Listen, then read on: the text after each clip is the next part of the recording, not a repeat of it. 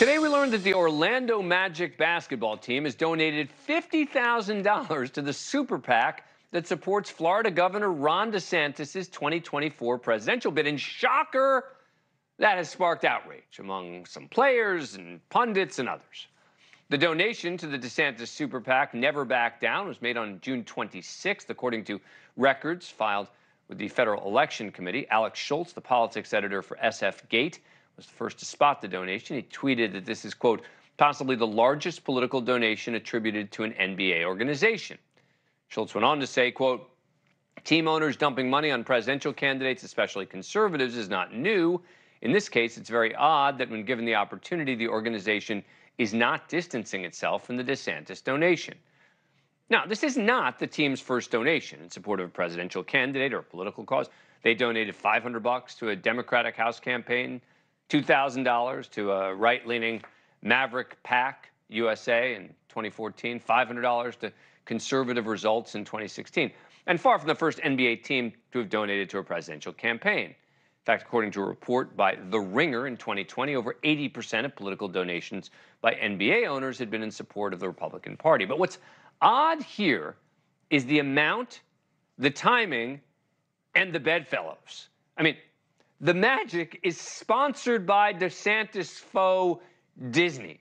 Their logo sits prominently on team jerseys. Disney and DeSantis have been in an all out war after the company issued a statement opposing his Education Act last year, which critics call the Don't Say Gay bill. And now there's Florida's new policy where public school teachers are required, as part of a, a, much larger curriculum overhaul, to teach middle school students that slaves, quote, developed skills which in some instances could be applied for their personal benefit. DeSantis doubling down on his defense of the curriculum on Fox earlier today. This was done by black history scholars, most of whom were black themselves. They are not shilling for slavery. They are showing the injustice of slavery. But that particular passage wasn't saying that slavery was, was a benefit. It was saying there was resourcefulness and people acquired skills in spite of slavery, not because mm. of it. And then they use those when they, when they achieve their freedom. So know, the team facing backlash, New Orleans Pelicans star forward Larry Nance, Jr. tweeting, so the Orlando Magic, of a majority black roster, a black head coach, and a black GM, decided it was a good idea to support a man that claims that slavery had personal benefits for the enslaved. Now, the team now appears to be caving a bit. First, they said they don't publicly comment on political contributions, only to issue another statement hours later saying to clarify, this gift was given before Governor DeSantis entered the presidential race. It was given as a Florida business in support of a Florida governor for the continued prosperity of Central Florida. They claim they sent the check on May 18th, a few days before DeSantis officially announced his presidency, but according again to the FEC, the donation was received on June 26th. Now, we live in a new world where businesses, including sports brands, have to be thinking about every major donation, regardless of what you think. Support DeSantis, don't support DeSantis. How could they not have seen this controversy coming? Joining me now is Robby Soave. He's a senior editor at Reason Magazine, co host of Rising on Hill TV.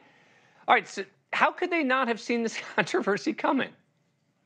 Yeah, I don't know, especially because it's so clear that people of all political orientations um, would like some areas of life to be politics free, including entertainment, culture, our social lives, and sports. Um, and I think that's true whether you're a Republican or a Democrat. So, and they they can't really say that they were just giving this donation um, in general support of a Floridian candidate. I mean, DeSantis's main rival for the nomination, Donald Trump, is also a Florida man in in uh, very much a sense of that. You know, residing in Mar-a-Lago. Uh, so it, this seems like it was more than a perfunctory, you know, good good for Florida. We support the Florida guy, and I, I, do think they should have anticipated backlash. Although it's within their rights, of course. Oh yeah, sure. donation. We're not talking legally here. No, but uh, but again, when they're when they've got the Disney logo on their jerseys, it, it is really sort of hard to believe that at least they didn't think about it. And by the way, I said the same thing about the Bud Light controversy, right? I said I've been saying for a long time, how could the marketing executives there have not foreseen that that would be an issue? And here it's sort of the same thing, which is did you guys not think about what might happen, particularly with a $50,000 donation? I mean, it's not just, you know, a $500 donation. Thank you for watching. Go to newsnationnow.com to find News Nation on your cable provider. And don't forget to click the red subscribe button below to get more of News Nation's fact driven, unbiased coverage.